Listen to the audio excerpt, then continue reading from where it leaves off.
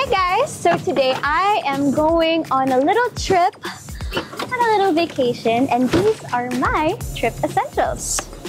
Hindi pwede mawawala your water bottle.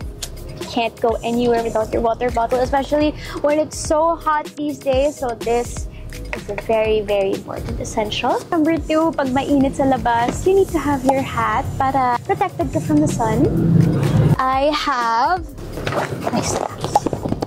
So I need to have my snacks with me so I have something to nibble on whenever I'm driving. And of course, the very last essential is my Palmolive Naturals Cool and Fresh shampoo.